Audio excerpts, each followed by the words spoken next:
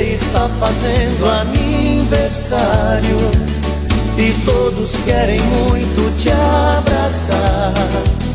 Que seja mais um